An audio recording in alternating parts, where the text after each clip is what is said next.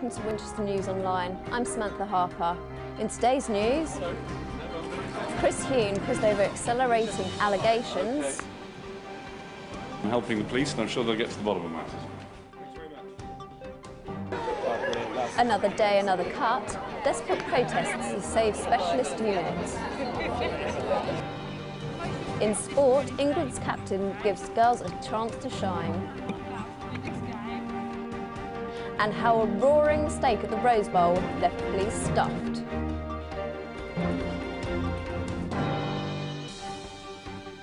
And make sure you don't go anywhere after the bulletin because I'm going to Southampton to take you to see an Andy Warhol exhibit.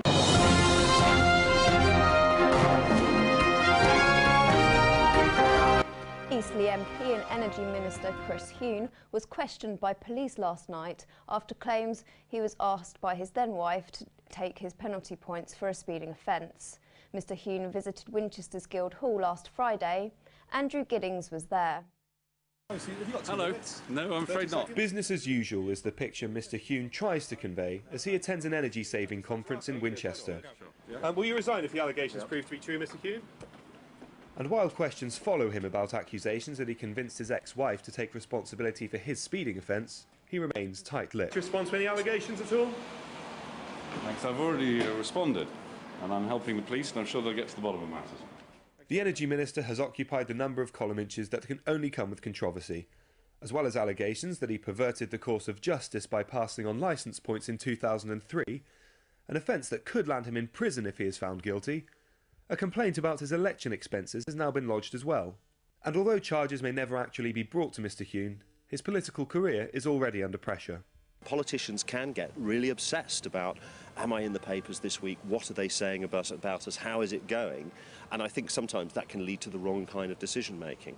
You know, it, it, what has happened, if it's true, is, is a serious offence. It's not something to be taken lightly, but it's something that happened before he was elected and before he was a minister. For now, Chris Huhne has the support of the Cabinet and his party while he tries to continue with his work.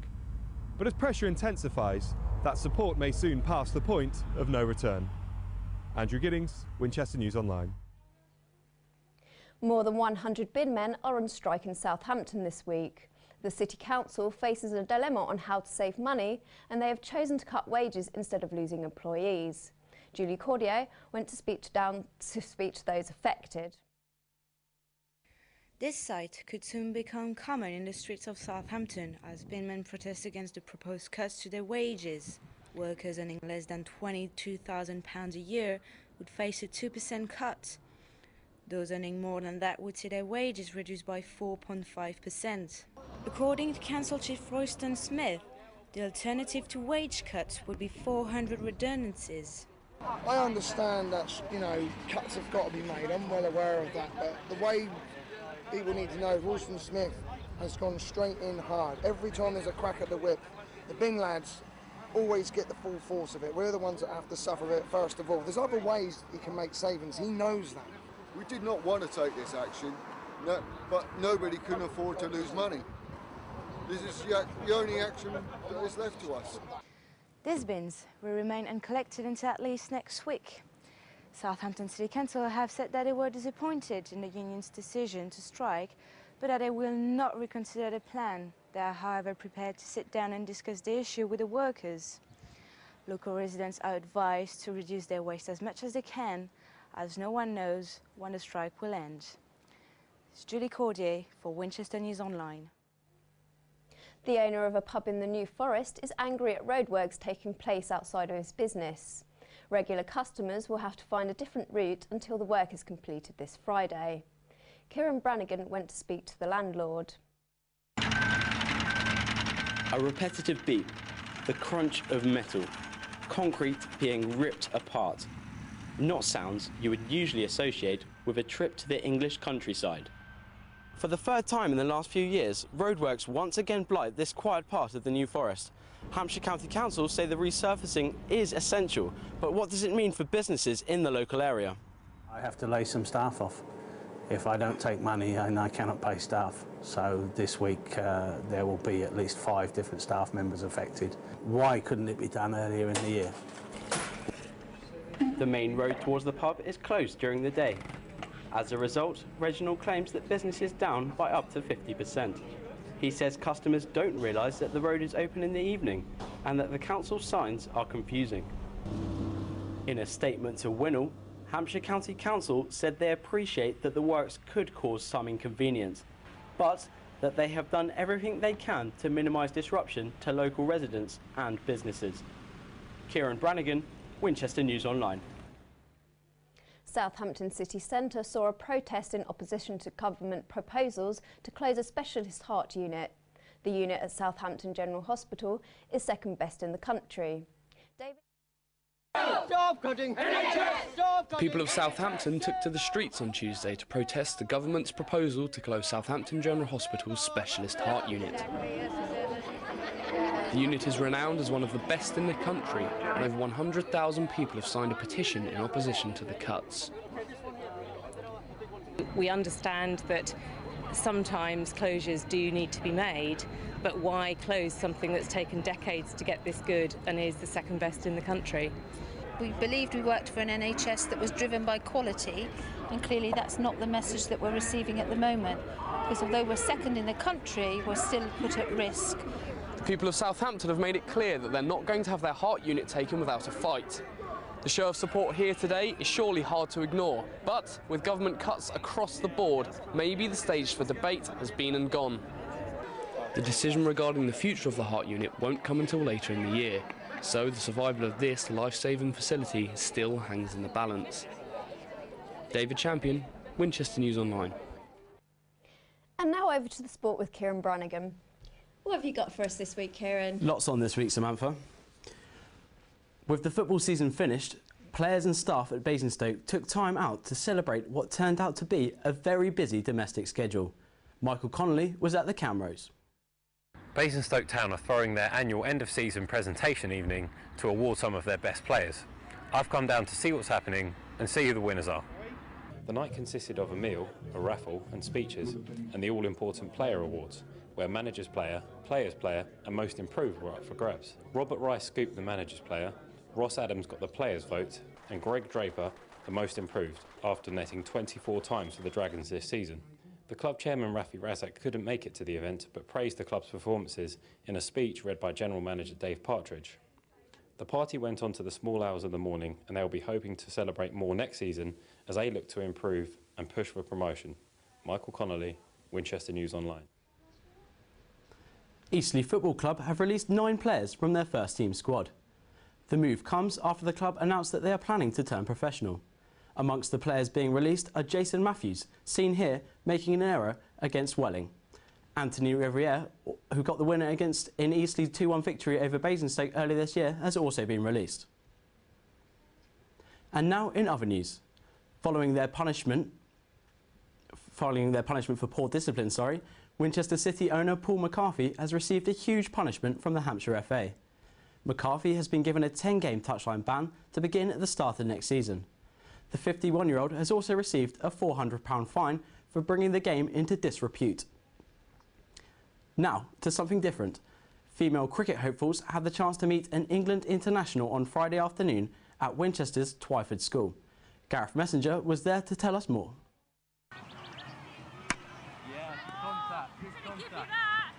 England women's cricket captain Charlotte Edwards has a busy summer ahead with games against Australia, India and New Zealand in the 2011 quadrangular series. Edwards was at Twyford School on Friday, but is eagerly anticipating a competitive summer. Yeah, we just, we just can't, we're really looking forward to it. I think um, to you know when you're playing the best teams in the world, I think it's always a good it's always a good judge for us to see where we're at and. Um, you know, we've, we've, we've picked a really strong team, so you know we're confident if we play our best cricket, we'll win. But um, on the other hand, we know we're up against three very good teams, so we're going to have to play our absolute best to beat to win both series. Edwards was in Winchester to continue her work for the Chance to Shine initiative alongside the Hampshire Cricket Board. She told us more about the campaign, which was launched in 2005. I'm a Chance to Shine ambassador and I have been for the last three years, so primarily my role is to get girls playing cricket and um, I've been working with the Hampshire Cricket Board for, for this week and it's great to come here to Twyford School who have been who are a big supporter of women's cricket and um, and obviously coach coach some of their um, their their young girls. So Twyford pupils have had their experience of international cricket. But on June 23rd, Edwards will be looking to bowl over New Zealand as the women's international summer season draws closer. Gareth Messenger, Winchester News Online.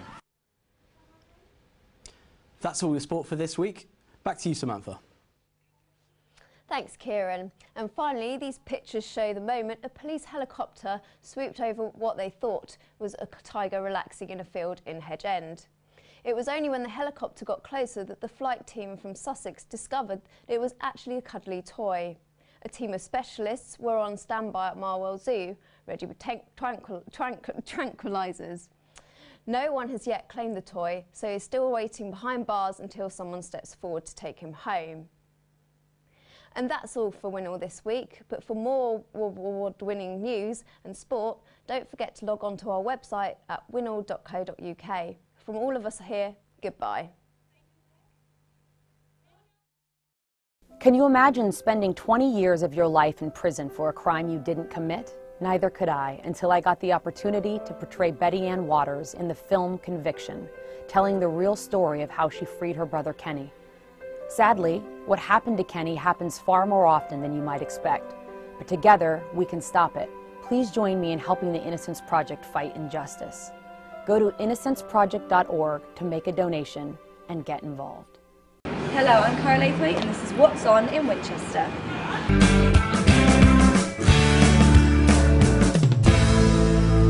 In this week's show, I'm going a little bit cultured as I cover art, photography, and later on, I'm going a little bit further afield to cover a very special art exhibit. But first up, Chernobyl, which isn't really a word you'd usually associate with art, but photographer Gail Ward is making it so. This Friday is your last chance to go see her exhibit. She spent some time there, took some photos, and people have said that it's like she tells a story in her pictures. I've also heard it's quite moving, and entrance is free, so you've got no excuse. Now, I'm not the most creative of people, which is why I am incredibly grateful to the aptly named Colour Factory, who are holding various workshops about art this week. The one coming up very soon is on China painting. It's a little bit pricey at £48 for entrance, but that does include tea and coffee, and you're going to be the envy of all of your friends with all of your painted cutlery, I promise you. Over the past few weeks, I've been covering all of the events in and around Winchester for you.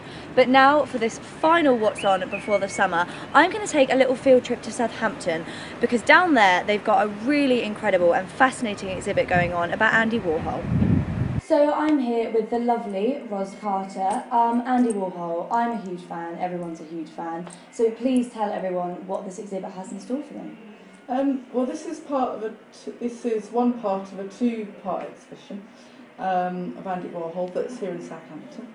Um, the exhibition is in two parts. So there's one part that's at Southampton City Art Gallery, and then there's one part that's here at John Hansard Gallery. Um, between the two exhibitions, they span pretty much most of things that Warhol did over his career. Lots of kind of behind-the-scenes footage. We've got some fantastic there's quotes as well. Yeah, there's quote, famous quotes from yeah. him. Um, yeah, lots of footage made by his friends back in like mid 1960s of him, you know, just kind of relaxing with friends and running around with his little cine camera oh, and that kind of thing. So there's lots of kind of behind the scenes stuff about Warhol, um, and there's all sorts of things within this show and the City Art Gallery that may be unexpected that people may not know about Warhol. Well, after the interview, I could not resist. I had to have a little look around myself, and I even ended up making myself slightly at home, although I cannot guarantee you'll also get a free cup of tea with your visit. But remember, entrance is free, and the collections can be found either here at the John Hansard Gallery or, of course, at Southampton City Art Gallery. I can say from experience, this is an incredible collection, and you really should not miss out. Well, once again, that's been all from me here this week. I would say stay tuned, but instead I'm going to say have a great summer.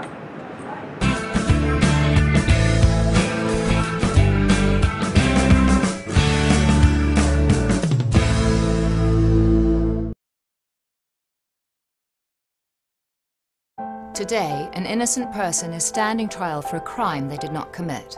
Today, an innocent person is writing for help from a prison cell. 245 people have been exonerated by DNA testing, but researchers believe that at least 40,000 innocent people are still behind bars. For them, the answer is the Innocence Project, an organization that uses DNA technology to free those who've been wrongfully convicted of a crime. For more information about how you can support the Innocence Project, go to mylifetime.com.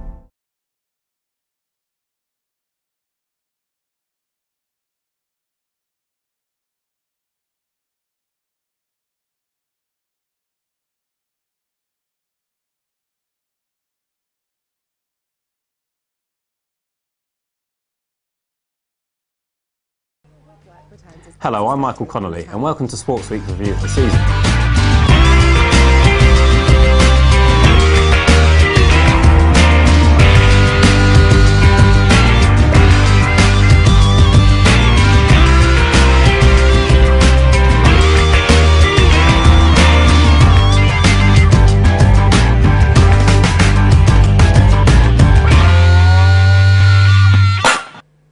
Finishing 11th last season, Eastleigh were looking to improve their league position with a place in the playoffs. Amy Pickering shows us what was a rollercoaster season for the Spitfires. After finishing 11th in the Blue Square South last season, Eastleigh were hoping to improve their standing as they went into another year at the Silver Lake.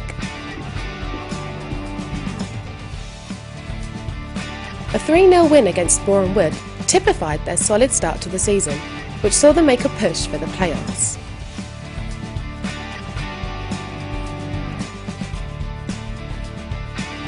Another vital, and possibly one of the sweetest victories, was against bitter local rivals Basingstoke. Having lost 1 0 to them earlier in the season, Ian. Baird's men were quick to And take he's opened the scoring for Eastleigh.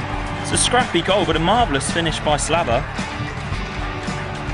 Jamie Slabber, who finished as the third top goal scorer in the league with 21 goals.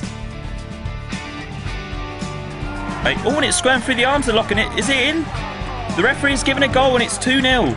Shades of Robert Green here at the Camrose. And a home win against St Albans surely saw the Spitfires soaring into the playoffs. A missed by post has led him reason. Dinked it over the keeper and made it 2 0. The former Ipswich However, two successive home losses against top of the table Braintree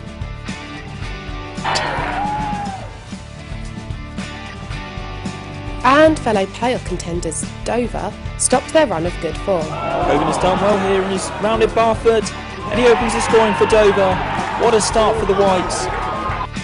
Baker's through, this could finish it. Save, but it's fallen to Birchall and it's 2 0. And the points are heading back Eastleigh to didn't lose heart though and hit back with an impressive win against Chelmsford City. Oh, fantastic touch there. He's pull in. What a fantastic goal by Tom Jordan. Eastleigh skipper scores a goal that his dad Joe would have been immensely proud of in his peak. Goes in for Slabber. It's 2 0 to Eastleigh. It's a good ball in. Jordan's in there. And it's in the back of the net. And it's the new man, Mark. And a further win against Bromley couldn't take the edge off a 4 1 thrashing against Welling.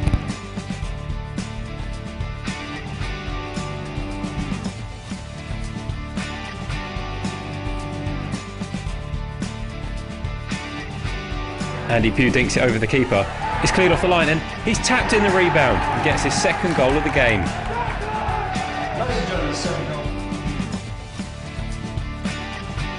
The ball's passed back to Matthews. He's hesitated and he's given it away. Louis Cumbers won't get an easier goal all season. An awful mistake by Eastleigh's number one.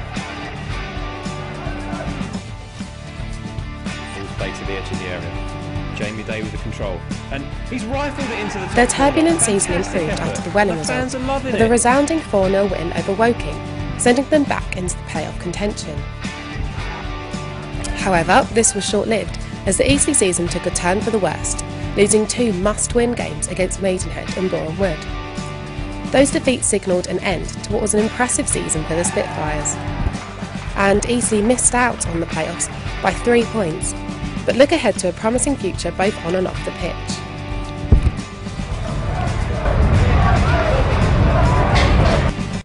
Basingstoke Town had an up and down season during 2009-2010, finishing 15th in the Blue Square South table.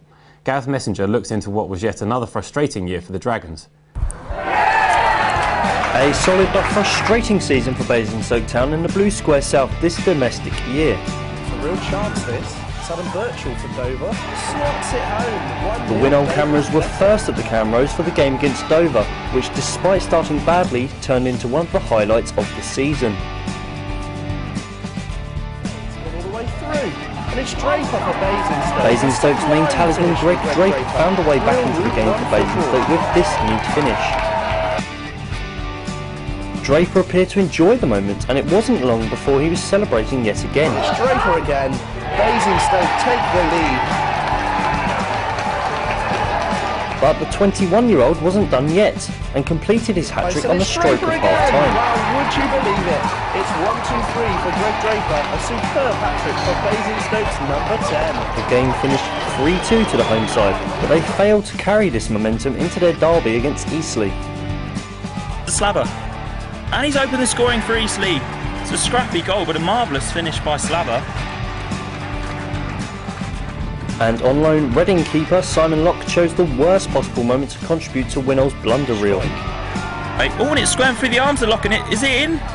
The referee's given a goal, and it's 2-0. Shades of Robert Green here at the Camrose. Matt Warner led the second half fight back for Basingstoke, but it was all in vain. Eastleigh running out 2-1 winners in the derby. Sam York has played in Warner here, left foot shot, and he's pulled a goal back. And the Dragons are right back in it here. Draper, though, was back amongst the goals when Town travelled to Staines. And Orlo's misjudged it, and Draper's in here. And he's lobbed Louis Wells, and Basingstoke take the lead. But typically at Basingstoke's season, they couldn't hold on to their advantage. He steps up to the level of the game. And he sent Morris the wrong way. This was one of 12 draws for Frank Gray's men, a number of which were games that had been led by the Dragons. Basingstoke were once again guilty of this when Lewes travelled to the Camrose. Oh, an absolutely fantastic finish from Pratt. Although the game will largely be remembered for this wonder goal by David Pratt. A real stunner by the big forward, but Basingstoke were once again left to rue their inability to hold on to a lead.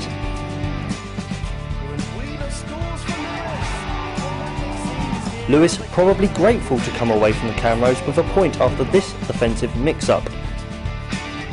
Dartford were the next visitors to the Hampshire club, and the home side once again found themselves in front via on-loan AFC Wimbledon striker Delano Samuel. But Basingstoke didn't have the lead for much longer. The Dragons lead lasting just three minutes. A classy finish by the Dartford winger. Failing to clear their defensive lines once again cost Basingstoke here. Danny Harris eventually prodding the ball home for Dartford to the despair of the Camrose faithful.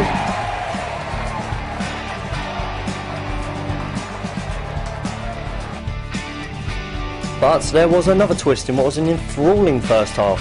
Sam York superbly grabbing his second with this solo effort. The AFC Wimbledon Loney doubling his tally. What first half we've had here. And Basingstoke came within a foot of the post of nicking this one. This near miss perhaps summing up Basingstoke's frustrating season. Nevertheless, a respectable 13th place for Frank Gray's side.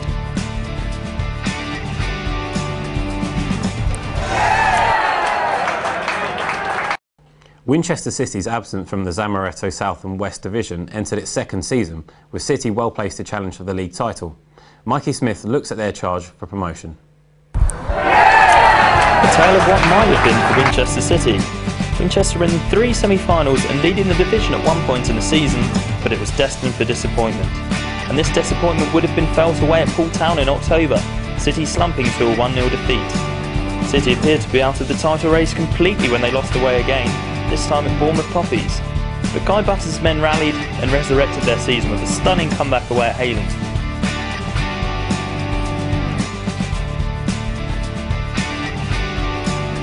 Denny Burney grabbed the second for Hayling before Nathan Lynch tapped in for City after a scramble.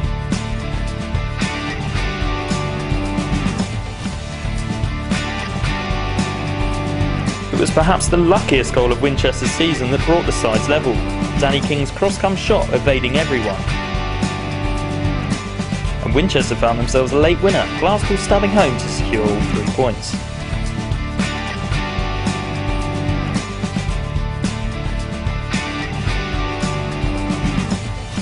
Glasgow was in amongst the goals again when City hosted Brading Town. But City were pegged back again by this wonder goal by Justin Henderson. Martin Beck put City back in front before the break with this neat finish. But Carl Laurent levelled late on to deny City another victory, but it wasn't long before they were back to winning ways. The Nathan Lynch shot was the highlight of their thumping 4-1 victory away at Brockenhurst. And the good form continued when Bemerton Heath Harlequins visited the Den Plan. glancing header and a former England schoolboy has made the breakthrough in this championship six points. Next up was Newport away, where Doug Rowe treated us all to a wonder goal. He takes it down and it's in! What a goal by Winchester City. 1 0 up after 26 minutes. But it wasn't all plain sailing on the island. Oh,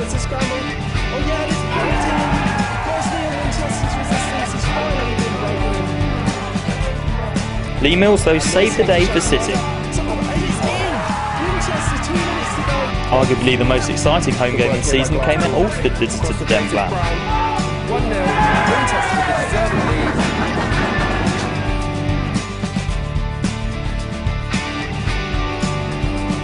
Winchester. Led 2 0 at one point in this one, but Alresford fought back superbly. Dean Cole levelled the score at 2 2 before Donaldson made it 3 McCarthy heads it, but it falls to Donaldson. His second of the game, and who would have put money on that comeback from Alresford Town? The informed Lee Mills levelled the score shortly after, before Glasgow headed home the winner. And it's Mills. It's 3-3. An excellent finish from the former Tottenham man. When Fareham visited the Den Plan, City took control again. And headed down. Oh, and it's in. It's Mike Dixon. Winchester have the lead here. Fareham fought back in the second half though. Oh, and, and Thompson gets there first. Goal for the away side. They've drawn level. But once again it was Glassball who put City in front, before Gary had completed the scoring, leaving City top. Back in front of the Den Plan. Bottom left-hand corner. That's free for Winchester. Winchester's nine-match unbeaten league run ended at the expense of Poole Town. A Lee Mills own goal put Poole Town in control, before Thomas Jeffs completed the scoring, as City's slim title hopes slipped away, and Bemerton Heath Harlequins eventually took the runners-up position as Winchester finished third.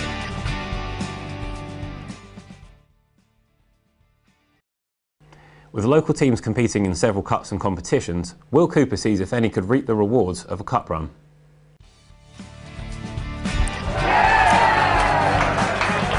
With the FA Cup and Vase proving non-starters for Winchester City, their biggest cup competition was the Hampshire Senior Cup, but Giants Havant and Waterlooville. Winchester got to the quarter-finals after wins against Moneyfields, Hayling United and Fleet Town, and produced a resounding display to produce one of the biggest cup upsets of the year. The semi-finals saw an end to the run, Pass back. It's Michael Charles. 1 0 to. They lead Local rivals Plan. Totton producing a dominant display to reach the final against Still going Sholing. Left foot drive. Bottom corner. 2 0 to Totton. Charles is 3 0 to the away side. Great finish by Michael Charles, the former Woking The game ended 3-1, with Winchester falling at one of the final hurdles. The FA Trophy saw Eastleigh start with a hard-fought victory over Folkestone Invicta. Gillespie with a double to get their trophy run off to a flying start.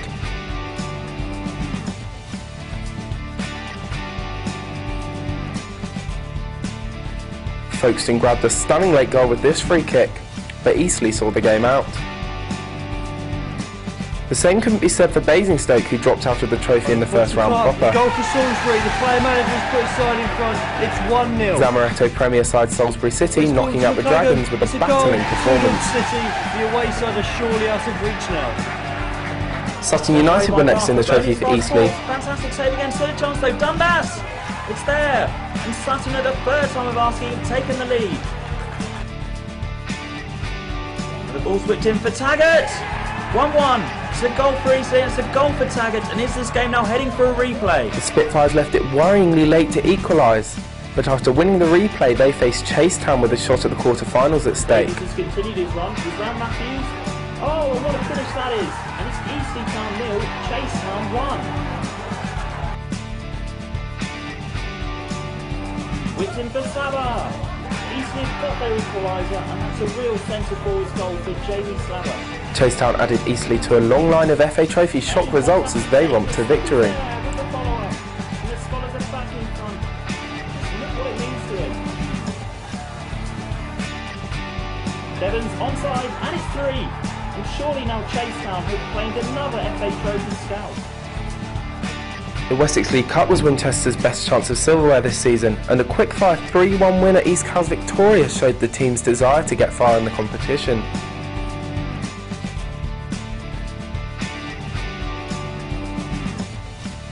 In the semi-finals, 10-man Winchester battled back from a goal down to gain the lead against Hamble Association at Little Testwood Park.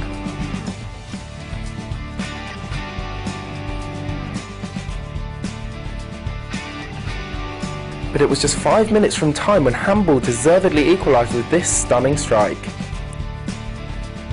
In the penalty shootout, it was Matt Troon who had to score for Hamble, his miss meaning Winchester went through. The final was a different affair, Jesse Hodgson scoring for Bournemouth Poppies after a defensive mix-up at the Winchester back line.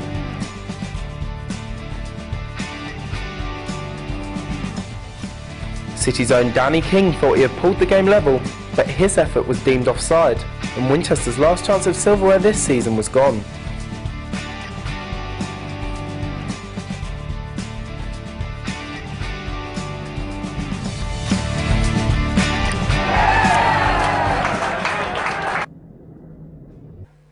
And now over to Amy, who is looking at the final league tables. Thanks, Michael. Braintree Town ran away with the season in the Blue Square South, finishing seven points above Farnborough, who themselves lost to Ebbsfleet United 4-2 in the playoff final. Eastleigh missed out on the playoff place by just three points after some poor end-of-season form, and Basingstoke Town improved on last season's league position, finishing 13th. St Albans, Lewes and Thurrock were all relegated after poor seasons. After topping the table the majority of the season, Winchester failed to finish the year as champions, as late season form resulted in Guy Butter's side finishing third behind Poole Town and Bemerton Heath. The Citizens finished 21 points behind Poole. And in the Zamaretto South and West, AFC Totton finally gained promotion by beating Sholing to the top of the league in an end-of-season finale. Totton won their last match 1-0 away to Gosport Borough to secure promotion to the Zamaretto Premier. Sholing made the playoff final but fell to a 1-0 defeat to Frome Town, meaning another year in the South and West Division for the Boatmen. And that's your final table roundup. Back to you, Michael. That's all from Sports Week this season, but we return next season with coverage of all your local teams. And we leave you with our goals of the season. Goodbye.